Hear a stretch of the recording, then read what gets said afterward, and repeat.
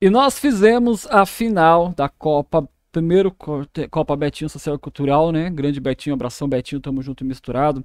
Tivemos diversos apoios aí, depois a gente coloca os apoios todos aí individuais, né, para agradecer sempre.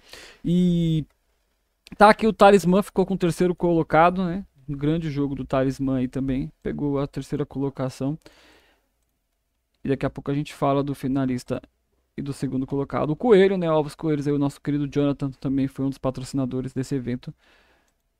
Tá aí as fotos do talismã que eu fiz lá na final, né? Além da nossa cobertura, a gente também fez a foto lá pra galera. Foto só de premiação, tá? Não foi foto de jogo.